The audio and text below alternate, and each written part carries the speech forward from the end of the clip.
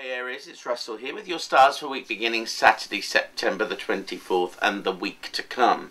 Now let's make no bones about it. This week is absolutely filled with major aspects revolving around your seventh house, which is your house of relationships and partnerships. And I would suggest that you take a great big long look at my You Can Change Your Life book and read all about the seventh house because you need to know that the focus is going to be on partnerships and relationships from this moment on.